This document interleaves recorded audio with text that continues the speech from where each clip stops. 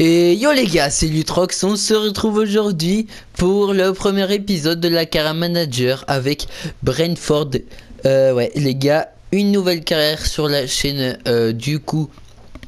euh, c'est la carrière première ligue, donc pas de leads. Euh, on continue bien évidemment Saint-Etienne, ça va arriver très prochainement. Et euh, Milan, à mon avis, les gars, on passera plus sur peut-être euh, des épisodes de temps en temps et on finira ça en live euh, parce que euh, voilà, malheureusement, je n'aurai pas euh, assez de temps et euh, je sais que beaucoup de monde attendait cette carrière en PL. Donc voilà euh, pourquoi Brentford aussi vite fait, les gars? Tout simplement, euh, pour ceux qui ne, qui ne sont pas sur mon Discord, euh, sur mon Discord, on m'a beaucoup demandé euh, Brentford, tout simplement parce que l'année passée, donc sur FIFA 22, euh, j'avais fait une carrière Brentford qui ne s'est malheureusement jamais terminée par manque de temps aussi. Donc euh, voilà, il y avait clairement un goût d'inachevé, surtout que la carrière n'était pas allée très loin. Donc voilà, cette carrière. On va la renouveler cette fois on ira au terme je vous le dis sans plus tarder les gars tout d'abord on va on va regarder euh, on va partir voir l'équipe mais euh, juste avant euh, petit point j'ai pris la coupe euro inter je ne sais enfin voilà. Bref il y a quand même quelques belles petites équipes. On va affronter Monza. Je sais pas encore quelle équipe on affronte, mais là, ce qu'on peut voir déjà, Valence, Mayence, tout ça, c'est pas mal. Donc il y a moyen de faire de très bons matchs, plutôt beaux matchs, et surtout des matchs test pour euh, savoir, euh, pour un peu se jauger, on va dire. Euh, Concernant l'équipe, les gars, j'ai fait trois équipes. Donc tout d'abord une équipe comme ça en 4-3-3, ensuite une équipe en 5-3-1-1, comme vous comme vous voulez l'appeler, certains l'appelleront peut-être 5-4-1. Bref, comme vous voulez, un autre système en 4-2-3-1. Euh, on va aller voir ça de plus près. Dans les buts, j'hésite, honnêtement j'hésite, euh, entre Raya et euh, Strakosha. C'est deux joueurs que je trouve vraiment intéressants.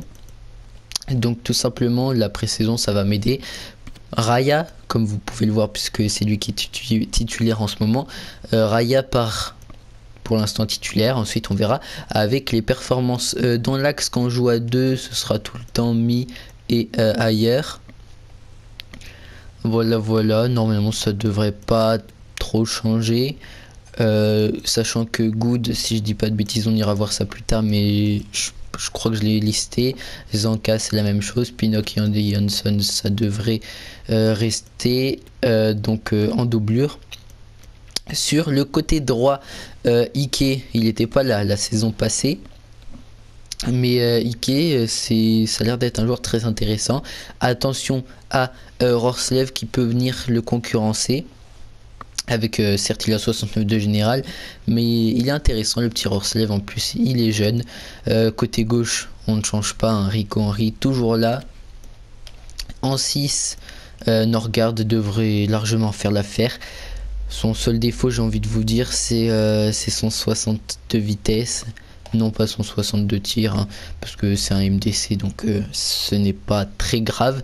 Mais 62 vitesse, c'est vrai que ça, ça m'embête un petit peu, mais c'est pas grave, ça va être notre patron.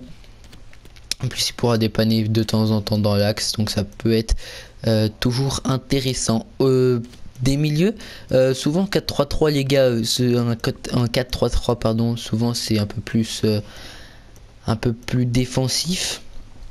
Les deux qui jouent 8, on peut le voir ici. Là, c'est vrai qu'ils sont euh, assez offensifs, mais euh, voilà, c'est la compo de base de toute manière quand on lance euh, une Brentford.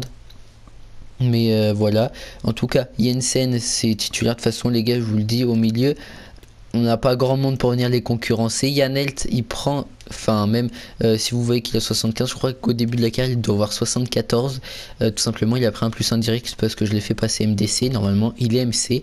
Euh, du coup, il a pris plus 1 et vous voyez qu'il est clairement meilleur en MDC. Mais c'est pas grave, Yanelt, il a tout à fait un 68 de vitesse, ça va, mais 69 en tir, tout ça. Enfin, vraiment, il a des stats qui lui permettent complètement d'évoluer à ce poste-là. TMC, Pas, pas en tant qu'MC confirmé, mais c'est un MC tout à fait convenable, surtout que dans tous les cas, au milieu, sinon, Onyeka, voilà quoi. Et Da Silva, je préfère le mettre sur le banc pour l'instant. côté gauche de notre attaque, le petit Damsgaard. Euh, je vous l'avoue les gars, j'avais même pas tilté au début.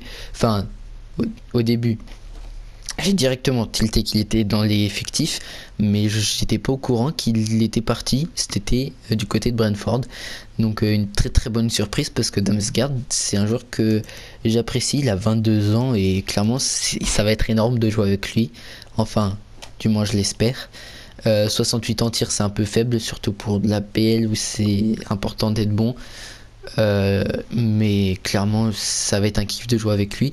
Et euh, je suis très très content. Côté droit, notre petit Brian Mbemo.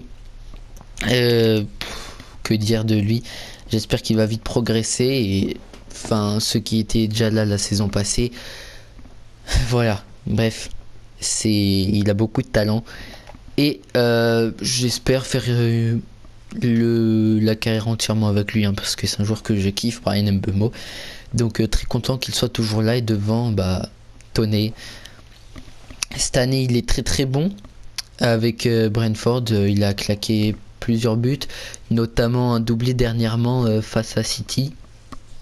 Doublé d'ailleurs qui, lui donne la victoire à Brentford à la dernière minute, si je ne dis pas de bêtises. Donc euh, voilà, tout ce qui est remplaçant, les gars, on fera le petit point quand on fera le tour de l'effectif.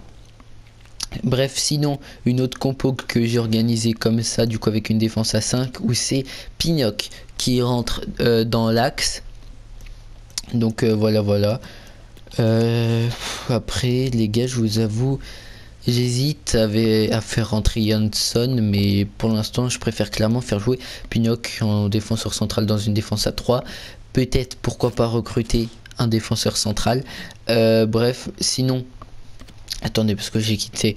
Euh, sinon, on a un milieu, bah, c'est toujours les mêmes. Et après, Damsgaard, euh, c'est lui que je fais jouer en 10 et je suis en train de me rendre compte d'une chose qui m'est souvent reproché dans les commentaires, c'est que je fais que dire eux quand je réfléchis. Un autre système en 4-2-3 sinon un système que j'ai pas mal hésité parce que tout simplement j'ai hésité à mettre un 4-4-2 euh, à plat parce que là c'est plus une compo euh, vous voyez un peu un peu une compo tranquille que j'ai envie de dire une compo de base où on ne prend pas trop de risques euh, contrairement à un effectif à une composition pardon comme ça on joue avec 2-8 plutôt bien avancé et une compo on joue en 5-3-1-1 ça peut être aussi risqué surtout que je joue avec des latéraux plutôt offensifs donc des compos comme ça, ça peut être plus risqué. Un 4-2-3-1 ou un 4-4-2, c'est normalement moins risqué. C'est enfin, c'est plus des schémas euh, entre guillemets classiques, hein. des schémas qu'on a souvent l'habitude de voir. Donc euh, voilà, voilà. Là, j'ai rien à dire. C'est juste que du coup, Da Silva joue en 10. Ça, c'est quelque chose qui me plaît un peu moins. Pourquoi pas voir euh, mettre Damsgaard en 10 et faire rentrer un Johan Wissa sur le côté. Ou pourquoi pas même un Lewis Potter. Parce que niveau stat, il euh, n'y a pas non plus. Ouais, c'est vrai qu'il y a un plus 7 euh, niveau tir et un plus 5 niveau vitesse. Enfin, je veux dire, Johan Wissa, c'est quelqu'un sur qui, oui, je vais compter. Mais Lewis Potter, ça va être. c'est notre pépite. Donc voilà, voilà. Allez, les gars, on part pour la revue d'effectifs et ensuite on partira directement pour le premier match. Euh, donc les gardiens, en tout cas Strakosha et euh, Raya, on a déjà fait le point. Je vais me servir de la pré-saison pour euh, juger. Cox, il va partir en pré fin du mois. Je vais essayer de le faire partir en prêt, je l'ai déjà listé. On a aussi le petit Balcombe, 62 général à 22 ans, je vous le dis direct. Euh, dès qu'il reviendra de près la saison suivante, ça va vite euh, dégager. Côté gauche, on a Rico Henry. Euh, vous voyez qu'on n'a qu'un seul défenseur gauche, tout simplement. Du coup, je, me suis, je suis vite allé voir si on n'avait pas plusieurs défenseurs droits. En l'occurrence, on n'en a que deux. Donc, il va nous, nous falloir pardon, impérativement un latéral. Euh, après, Stevens, lui, peut être intéressant. Saison 2, quand il reviendra de près. Lui, je pense euh, que je le reprêterai ou je vais le vendre, je ne sais pas encore. niveau défenseur central, il nous en faut ouais 5-6. 5 c'est bien clairement. Du coup, du coup, du coup, Sorensen qui était là la saison passée, je me rappelle, il est prêté à Nice. Euh, Jansson, il devrait rester, mais rien sur les gars. Donc dites-moi ce que vous en pensez du cas Jansson. Pour l'instant, je le garde, mais il va probablement peut-être partir que ça soit. Enfin, en saison 2, c'est sûr, il part. Si on le garde en saison 1, sinon peut-être que. Enfin, je sais pas encore ce qu'on en fait. Bref, Zanka, lui, c'est sûr et certain, ça dégage. Good, ça dégage. Krama, ça dégage un français en plus mais voilà, ça dégage. Euh, Pignoc, ça reste, du moins pour l'instant. D'ailleurs, j'ai reçu une offre il y a, il y a pas longtemps, enfin juste avant de tourner, que j'ai refusé. Euh, ailleurs, bien évidemment, ça reste, c'est indiscutable. Mi, ça reste, mais il fera une, deux saisons, grand, grand max, parce que 32 ans. Euh, ailleurs, d'ailleurs, les gars, je voulais vous le dire, j'hésite énormément à lui donner le brassard. Je sais qu'en réalité, il ne l'a pas, c'est euh, étonné qu'il a, mais je sais pas, hier, pour moi, il, le mérite un peu quand même, son brassard. Tonné, il le mérite complètement aussi, mais je sais pas, ça, je verrai ça. Surtout que, honnêtement, euh, là-dessus, il n'y a pas de réalisme. Enfin, c'est pas comme si, par exemple, je vais prendre l'exemple de Synthé, mais c'est pas comme s'il y a 3 ans, t'enlevais le brassard à Perrin. Là, c'est complètement irréaliste d'enlever le brassard à Perrin. Mais là, euh, l'enlever à Tonné, enfin, ça peut être juste un choix du coach. Donc euh, voilà.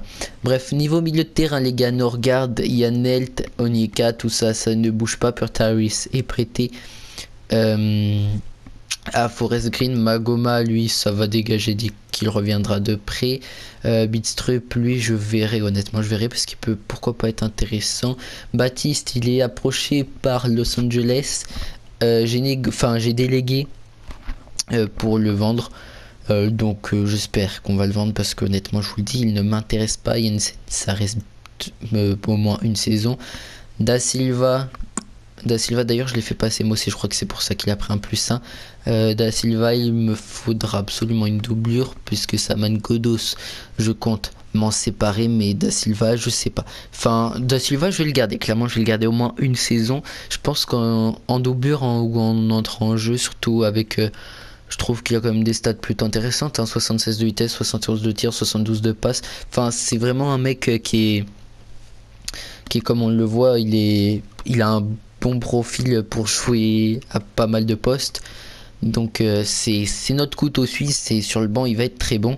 Donc je compte vraiment sur lui. En revanche, Saman, Saman Godo, euh, comme je le disais, ça dégage vraiment, j'en veux pas de Saman Godos. très vite, ça dégage. Certes, il a 19 ans, mais 58, c'est beaucoup trop faible. Euh, Yarmoluk, 62, de général, un Ukrainien. Euh, je le prête, puisque 62 à 18 ans, ça peut être intéressant, clairement, ça peut être intéressant. En revanche, 62, je ne pourrais pas m'appuyer sur lui cette saison. Donc je préfère qu'il trouve du temps de jeu, qu'il s'améliore et qu'il revienne plus fort en saison 2. Brooke, ça reviendra de près la saison prochaine, ça dégagera. Gilbert, je l'ai déjà listé. Euh, j'ai délégué euh, tout comme pour euh, Baptiste. Canos, je le garde pour l'instant. Je vais voir ce qu'on en fait. Pour l'instant, on va le garder. Fotsu, ça va dégager dès qu'il reviendra de près. Yohan Wissa, ça reste, bien évidemment. Damsgard, j'ai pas besoin de parler. Lewis Potter, bah 71, mais même pas je le prête. Hein. Lewis Potter, c'est remplaçant indiscutable. Pas titulaire indiscutable, c'est remplaçant indiscutable. Brian Mbemo, lui, il est titulaire indiscutable. Ça va être un des chouchous de la carrière. Euh, Presley, lui, on le. Toney, ça reste bien évidemment. Euh, Dervisoglou. En vrai, je vous avoue que je suis un peu dégoûté parce que l'année dernière, il était prêté, j'avais pas pu le tester. Là, il est encore prêté une nouvelle fois. C'est dommage, mais euh, c'est un joueur que ouais, j'ai, vraiment envie de, tester. 22 ans 70 de général, il pourrait être intéressant quand même. Et ensuite, euh, Young Combs, je sais pas si ça se prononce comme ça, excusez-moi si c'est pas ça. 19 euh, ans 61 général, on verra son retour. ce qu'on en fait concernant le mercato, les gars, c'est un sujet qu'on va vraiment devoir évoquer puisque on va vite faire regarder, mais dans un schéma comme le 4-3-3 comme celui-ci, Gardien, je dis pas. Défense, il m'en faudrait peut-être un, un central. Il me faut absolument un latéral. Il me faut absolument aussi au moins un milieu. Euh, devant, je pense que au poste de BU c'est quand même un peu léger. Après sur les côtés, je dis pas sur les côtés ce, sera bon normalement. Mais ouais, j'attends ouais peut-être 4-5 recrues. Euh, j'attends pratiquement autant de départs. Donc voilà voilà, à savoir que j'attends comme tout le temps vos avis dans les commentaires, euh, vos joueurs, c'est extrêmement important pour moi.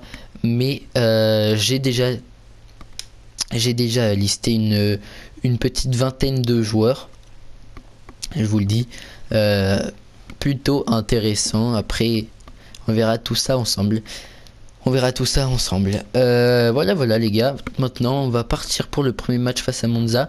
Honnêtement, aujourd'hui, je vous fais qu'un match. Semaine prochaine, euh, bah, dans tous les cas, je vous ferai peut-être même je vous mettrai un match avec euh, peut-être les deux matchs avec les buts, comme ça on fera euh, pas mal de PL et ce sera certainement plus intéressant pour vous. Sinon là je fais ouais non, je fais juste euh, je fais juste un match, c'est le début.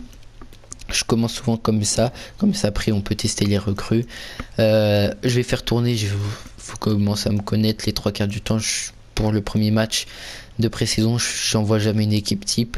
Je fais, je fais un mix entre équipe type, quelques réservistes de temps en temps, mais là ça va être plus être des remplaçants parce que réservistes que, que je pourrais tester, j'ai Canos et c'est tout parce que tout là ça dégage là ça dégage sauf ouais enfin Cox ça dégage mais après je le vends pas.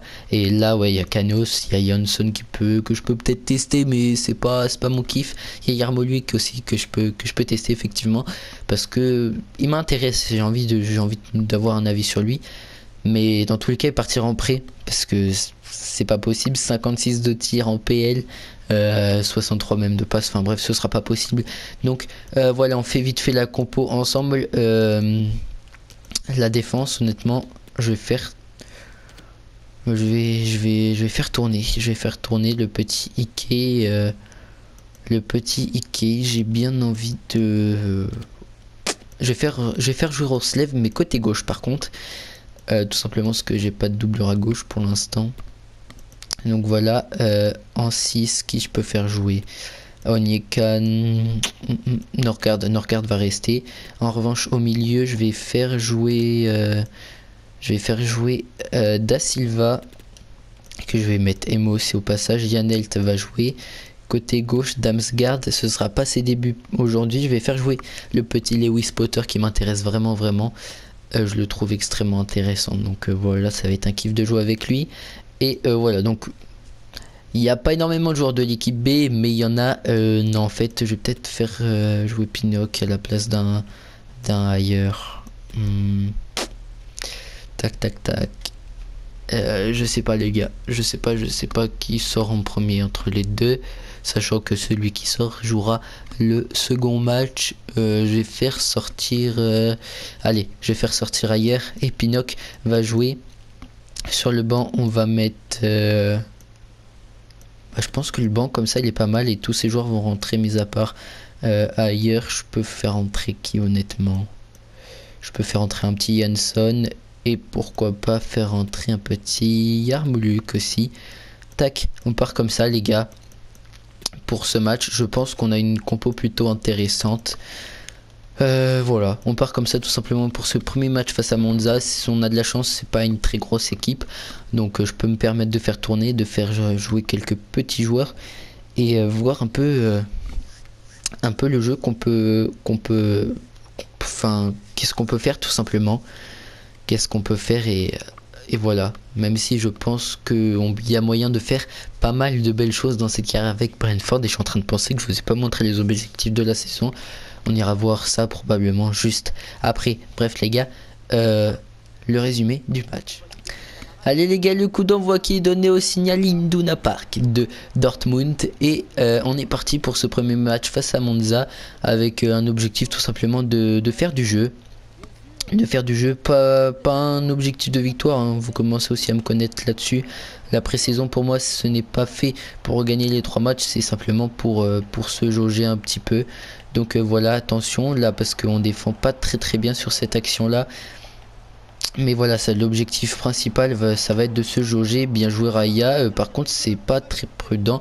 Voilà, c'est capté par Raya, mais voilà, comme je le dis, Z, euh, l'objectif principal, se jauger, voir un peu quel joueur, sur quel joueur on va pouvoir s'appuyer, sur quel joueur ça va être plus compliqué, il faudra le retester. attention à Tony avec cette perte de balle un peu bête. Mais euh, voilà, attention et l'ouverture du score directement de euh, Monza. On défend euh, comme des brels sur ce début de match. On n'arrive pas à récupérer le ballon et on le perd très vite dès qu'on l'a.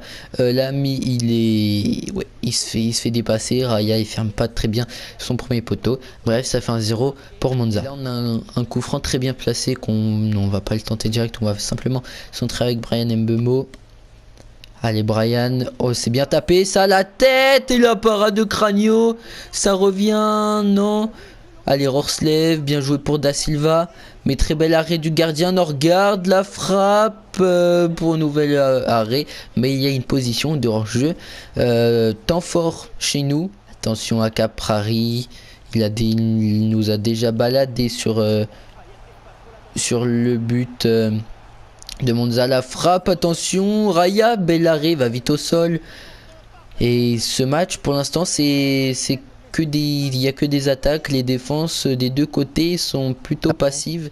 Avec Yanelt, ce match, ça ne s'arrête pas. Bien joué ça. Bien joué Tonnet. Allez, Lewis Potter. Lewis Potter toujours. Lewis Potter, Lewis Potter qui frappe. Oh, ça passe juste à côté. Oh, très belle frappe là de Lewis Potter. Elle était... Euh, un chouïa trop molle, mais très belle frappe. Malheureusement, il prend pas le cadre, mais c'était bien joué. Il a su, euh, il a su un petit peu temporiser et il a vu qu'il y avait possibilité de faire quelque chose. Mais voilà, allez, nouvelle action avec Lewis Potter encore. Lewis Potter qui rentre. Non, il aurait pas dû donner son ballon, Lewis. Oh, c'est dommage, il avait, il y avait quelque chose à faire. Il y avait quelque chose à faire là. Et c'est la mi-temps. C'est la mi-temps à Dortmund. Euh, honnêtement, je vous le dis les gars, euh, mi-temps très intéressante pour certains joueurs, euh, un peu moins pour d'autres. tenez qu'on vient de voir à l'écran a fait une très très bonne deuxième partie de première mi-temps. En revanche, au début c'était catastrophique. Quand je vous dis catastrophique, c'est qu'il n'alignait même pas une passe. le top de cette première mi-temps, il y en a deux pour moi. Euh, c'est tout simplement Norgard et euh, Lewis Potter. Les deux font une très bonne première mi-temps. À noter aussi le petit Rorslev, euh, il y a du bon et du moins bon, mais il est quand même intéressant. Après il y a d'autres joueurs qu'on n'a même pas vu. je pense à Pignoc, à, au petit Ike. Donc euh, voilà, surtout que Ike, c'est un joueur que je n'avais pas la saison passée. Là, c'est une passe totalement débile que j'ai faite, je voulais pas la faire là. Et Ike, c'est un joueur euh, que je n'avais pas la saison passée, donc je sais pas du tout ce qu'il vaut. Donc euh, voilà, bref les gars, du coup on est parti pour cette seconde période. Yanel, c'est bien joué ça pour Da Silva. La transmission pour Brian Mbemo, elle est très bonne. Mbemo, Mbemo c'est dribblé, c'est passé, c'est magnifique. C'est très bien joué. Ça fait un partout. Euh, honnêtement, j'attends l'heure de jeu, les gars. Donc, euh, prochain arrêt de jeu. en gros, on ira faire euh, les changements. On changera la quasi-totalité de l'effectif. Là, c'est très bien joué Mbemo et ensuite il finit. Ouais. C'est et à noter aussi la, très belle euh, la très belle passe de Da Silva au début de l'action qui fait le décalage parfait pour Mbemo. Bref, les gars, on recolle au score. C'est dommage qu'il se soit jeté, euh, mais euh, voilà, clairement c'est mérité. Et euh, maintenant, euh, bah, on va essayer d'aller chercher euh, les 3 points, ou du moins, si on va pas les chercher, c'est de faire du, jeu très bien joué. Mais il, défend bien, il défend bien. Mais il était fautif sur le premier but, mais depuis, il s'est rattrapé. Bref, voilà, voilà. Il n'y a rien du tout, mais attention à ce contre. Allez Ike, bien joué ça Ike, c'est très très bien défendu. C'est très bien défendu ça mon petit Ike. Allez Mbemo. Yannelt qui lance Tonnet, Tonnet, Tonnet en contre 1, ça va au fond, je, mets directement pause. j'ai même pas laissé euh, célébrer, on va célébrer ça juste après. Euh, j'ai fait rentrer Yermoluk à la place de Da Silva. Da Silva d'ailleurs qui a fait euh, un plutôt bon match. Euh, Yannelt va sortir, il va laisser sa place à Jensen. Norgard qui fait un très très bon match d'ailleurs va laisser sa place à Onyeka. Henry va rentrer à la place de Rorslev qui a fait un bon match. Je tiens à le dire. Il a fait un très bon match Rorslev. Euh, Ike, on le voit beaucoup plus aussi sur cette seconde période. Euh, je vais faire sortir Pinoc. Jansson va rentrer. Euh, côté droit, je vais faire sortir Mbemo, je vais faire rentrer Damsgaard. Et euh, le petit Toney, est-ce que oui ça pourrait pas jouer en pointe si je le mets à T par hasard? Ouais si c'est bon parce que Lewis Potter, je vous le dis, il m'intéresse euh, très franchement et je pense qu'il peut encore me montrer quelques petits trucs dans ce match. Donc j'ai vraiment pas envie de le, laisser là. Donc, euh, donc voilà. Toney qui va se péter la tronche. je vous avoue que là j'hésitais à faire une PES, à mettre le ballon en bas. Mais, non, on la joue, on la joue tranquille. Tony qui va de son but, ça fait 2-1 pour Brentford. Et clairement, je vous le dis, les gars, on est vraiment bien rentré euh, dans ce match. Enfin, non, on est mal, on, on, a, mal entamé le match, on n'est pas rentré dedans, mais on a très bien réagi et on se procure de nombreuses occasions. Et c'est une équipe comme une équipe pardon comme ça que je veux voir euh, cette année euh, bien jouer. Avec Yarmoluc, Yarmoluc qui décale pour Lewis Potter qui frappe juste au-dessus. Enfin, même pas juste au-dessus. Là, ça passe quand même bien au-dessus. Mais c'est pas non plus un drop. Mais ça passe au-dessus. Euh, il y a vraiment euh, du jeu là dans cette seconde période. Euh, on récupère énormément de ballons. le Jensen d'ailleurs il vient de rentrer au Onyeka ça fait déjà deux interventions qu'il fait qui sont parfaites bien joué Yarmoluk allez Lewis Potter Lewis Potter qui joue avec Yarmolik. Lewis Potter à nouveau. Lewis Potter qui frappe à terre. Dommage, ça a surpris le gardien. La frappe était vraiment intéressante. En revanche, Cranio euh, n'a pas, n'a pas tremblé et sort ce ballon sans souci. Jensen, le corner, personne et le compte son camp le compte son camp. C'est la première fois que je vois ça sur ce FIFA. On le vit ensemble, c'est la première fois que je vois ça sur ce FIFA. Euh, un défenseur qui marque contre son camp. Euh, vraiment, c'est la première fois que ça m'arrive. Là, le défenseur, ouais, il en plus, il a ce match bien. Euh, le gardien, il, il se trouve, il fait clairement une erreur de main en même temps. Et voilà, ça, on prend, on prend nettement l'avantage maintenant. Ça fait 3-1 et certes, on c'est pas, c'est pas un de nos joueurs qui marque ce but, mais je trouve que c'est mérité au vu de notre match et et voilà, et comme, euh, comme on dirait, c'est bon pour le moral. Allez, Caprari avec Petania. Petania qui se joue de Jansson. Et là, oh là, la très belle envolée de Raya. Raya fait toujours les mêmes arrêts que la saison passée. Euh, il saute, tu sais pas comment, mais il saute et il les a. Donc euh, voilà, c'est parfait. Allez, 89e minute de jeu, c'est la fin du match. On va peut-être. ouais, on récupère le ballon. Allez, on en a peut-être une dernière. Yohan Wissa, le décalage. Ouais, il le fait pas son décalage, c'est dommage. Il y avait une occasion de, de contrer l'adversaire et pourquoi pas d'aller en mettre un quatrième. Attention, la frappe passe à côté. Et on s'impose 3-1 face à Monza. C'est une très, une très belle victoire, honnêtement. Très belle victoire. Euh, certes, le troisième, euh, c'est pas nous qui le mettons. Mais enfin, un très très bon match. 55 de possession. 2,4 euh, chances de but, ok ok, 91 passes, ouais, on n'est pas loin des 100 passes. Objectif pour moi c'est à peu près euh, ouais, 100, passes par match. Après ce serait mieux 100 passes réussies par match. Euh, je sais pas combien de passes on est réussi. On est sur du 80 passes réussies, ouais donc on, je crois qu'on a fait 92 passes, un truc comme ça, bref. Donc on est sur un peu plus de 10 passes ratées, c'est pas énorme, c'est pas énorme, c'est ça va, mais je voudrais qu'on soit sur plus sur du 100 passes réussies. Euh, tous les entrants, ils ont fait un très bon match. Lewis Potter 6,8, mais honnêtement, il fait un match propre. Il fait un petit match propre, il fait 3 tirs, il encadre 1. Euh, 6 passes, ouais, un match plutôt intéressant. Tony, il a mis du temps à rentrer dans son match. Au début, il était vraiment pas bon. Mais quand je vous dis pas bon, il était dégueulasse. Hein. À chier, comme certains diraient. Euh, au final, il claque son but et il rentre très intéressant pour lui. Damsgaard, bon, il a juste eu, il a juste eu une occasion. Enfin, il a juste eu un truc à faire. Il l'a fait, c'était bien. Donc euh, voilà, 5,9 pour un entrant, je dis rien. Euh, Mbemo, il y a étalé de son but, but très propre d'ailleurs. Bien joué à lui, Johan Wissa. Euh, il a rien fait, clairement il a rien fait. Euh, Yermo lui, il a fait une entrée intéressante, 5,9 hein. honnêtement. Euh, ils, sont pas très gentils puisque franchement il fait une entrée, intéressante. Euh, da Silva il fait un match plutôt intéressant aussi. Il au début pareil il est, est pas rentré dedans. Ensuite, vraiment c'était le jour et la nuit. Ensuite c'était vraiment très bien. Euh, Jensen, ouais, il a fait l'entrée. Bon, son 6,1, je pense, c'est dû au corner qui l'a frappé et qui a été décisif pour nous. Yannelt, une poste D, ouais, Yannelt, il, il a été bon. C'est pareil, c'est comme la plupart de l'effectif. Hein. Au début, il était clairement pas dedans. Onyeka, il a fait une excellente entrée, lui. Vraiment, Franck Onyeka, des entrants, je pense c'est lui qui a marqué le plus de points. Euh, il a fait vraiment une très très très bonne entrée. Euh, Norgard, lui, fait un très bon match. Horslev, il fait pas un très bon match, mais il fait un bon match. Euh, Rico Henry, bon, on l'a pas vu. je vais pas parler, on l'a pas vu. Mi, il est fautif sur le premier but parce qu'il intervient pas, il se fait clairement passer. En revanche, sur la suite du match, bah, il a fait tout ce qu'il fallait, il était très très bon. Donc euh, voilà, c'est ça va être euh, le patron de notre défense cette saison avec ailleurs. Et il nous le prouve aujourd'hui. Jansson il fait une très bonne entrée. Pignoc, bon, on l'a pas vu du match. Ike, première mi-temps. Je savais pas qu'il était sur le terrain. Deuxième mi-temps, c'était le jour et la nuit quoi. Raya, il fait un match, ouais, un match intéressant. Bon, sauf sur le premier but oui je vais pas dire qu'il est fautif parce que c'est complètement la faute de la défense. En revanche, je pense qu'il y, a, moyen qu'il aille le chercher, surtout qu'il y a moyen qu'il ferme bien plus son premier poteau.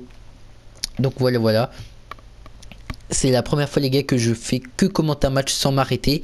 Euh, là, clairement, j'ai la gorge. Wow. Bref, ah, second match face à l'Undinese, ça va être un match intéressant. Euh, ouais, match face à l'Udinese. Il y a Freiburg aussi qui fait ok, ok. Bref, c'est ouais, c'est plutôt pas mal. C'est plutôt pas mal. Il y a des équipes vraiment intéressantes. Euh, on va vite fait regarder euh, les les objectifs juste avant. Mince, c'est quoi que je voulais voir ouais, Ah oui, c'était le calendrier pour voir le troisième adversaire. Ok. Ok, ok, c'est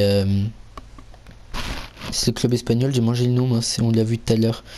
Euh, oui, bah c'est valable. Mais en plus, en plus, c'est ce que je pensais. Je voulais pas dire parce que je pensais que j'avais tort, mais non, c'était ça. Bon bah voilà, comme ça, on est sûr. Euh, bref, les gars, on va se laisser là. On va juste regarder, pardon, euh, les objectifs de la saison et ensuite on se laissera ici euh, niveau développement, je ne signe au moins deux jours de moins de 20 d'un meilleur potentiel. bref, c'est ce qu'on avait déjà l'année dernière. Enfin, je me rappelle plus, mais c'est juste les objectifs classiques de la saison passée.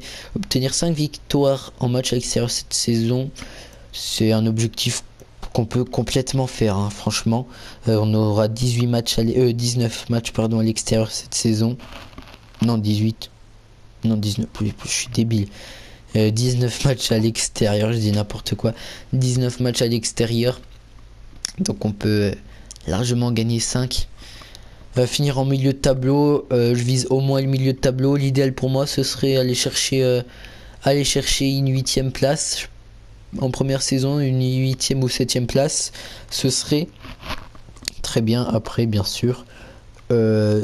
S'il y a moyen d'aller chercher une place, je vais pas dire en Ligue des Champions, parce que Ligue des Champions, Honnêtement, je vous le dis, même si on me le propose en saison 2, je n'en veux pas. Euh, bon, bien sûr, si on se qualifie, je pas, je vais pas dire non. Mais euh, j'en veux pas honnêtement, tout simplement parce que jouer la, la LDC en saison 2, je trouve que, enfin, ça serait sauter les étapes bien trop vite. Donc, euh, saison 2, si on a la Conférence League, par exemple, je dis pas non. Même l'Europa League, L'Europa League, vraiment à la limite, mais la Conference League, ça suffit largement. Euh, au national, du coup, après atteindre les huitièmes de finale en FA Cup, j'espère qu'on le fera. Tout dépend de notre chance au tirage aussi. Euh, et en trois saisons, améliorer votre club de 75% en vendant des joueurs et en remportant pardon, des compétitions. C'est un objectif qui se fait tout seul. On n'a rien besoin de faire. Limite, ça se fait tout seul. Donc euh, voilà, voilà, des objectifs, franchement, il n'y en a aucun de vraiment dur. Au passage, je suis en train de penser, on n'était pas allé regarder le centre de formation, on va le faire juste avant de se quitter. Euh, moi, je crois que je m'en étais occupé de mon côté. Ouais, voilà, je m'en étais occupé, mais on ne l'a pas regardé. Donc, euh, vous, le voyez, j'ai j'ai des joueurs. J'en ai gardé que deux, mais même les deux, c'est pas des joueurs. Euh, honnêtement, ça, ça promet rien. On a un petit gardien là, Joshua John, nigérian. Niger, ouais, nigérien. Ouais, si, oui. 51 de général à 15 ans, on verra ce que ça donne. Hein. On verra ce que ça donne. Ça n'a pas l'air fifou, honnêtement. Même ça n'a pas l'air très bon. Je pense qu'on va vite s'en séparer. Et ensuite, on a le petit Doherty. Euh, qui a pas l'air fou non plus. Hein. C'est on n'a pas un centre qui promet euh, de grandes choses. On, verra suivant le budget qui nous reste à la fin du mercato. Si on investit dedans, ce serait peut-être une bonne chose. Mais voilà, bref les gars, euh, on se laisse ici. N'hésitez pas à rejoindre le Discord. N'hésitez pas à liker la vidéo, à vous abonner, à partager. Ça ferait extrêmement plaisir. On est 330 abonnés. C'est c'est beaucoup. Surtout quand je vois que parfois je branle rien et que vous êtes toujours là. Parfois, je vois, je prends des abonnés. Ça fait un mois que j'ai pas sorti de vidéo. Mais les gars, franchement, je vous dis merci. Euh, à noter aussi, je vous le dis maintenant, la première semaine des vacances de Noël, les gars. Donc là, normalement, vous, allez voir cette vidéo euh, le vendredi, je pense. Euh, donc sachez que la première semaine des vacances, donc dans une semaine, un peu moins d'une semaine et demie, on se retrouvera en live euh, la, plupart des jours. Donc euh, voilà, les gars, ça va être... Euh, ouais, on va, on va bien kiffer les gars, je l'espère. Et ça y est, là, maintenant que j'ai repris, que je recommence à tourner, j'ai plus envie de m'arrêter et, je kiffe ça. Donc voilà les gars. Je m'arrête de parler, je vous dérange pas plus, surtout que la vidéo va être assez longue parce que j'ai pas mal parlé. De toute façon, le premier épisode, on est obligé de pas mal parler. Le deuxième aussi, puisqu'il y aura du mercato. Mais voilà les gars, comme je l'ai déjà dit, n'hésitez pas à vous abonner, à liker, ça me ferait extrêmement plaisir à rejoindre le Discord. C'était Lutrox, excusez-moi euh, pour cette inactivité qui a duré un peu plus d'un mois. Et euh, voilà, on se retrouve euh, soit avec Synthé dans les jours qui arrivent, soit pour l'épisode 2. je vous dis, il arrive dans moins d'une semaine, nous, une semaine tout pile au max, mais je vais essayer de vous le sortir assez rapidement. C'était Lutrox, les gars. Je vous fais des bisous. Ciao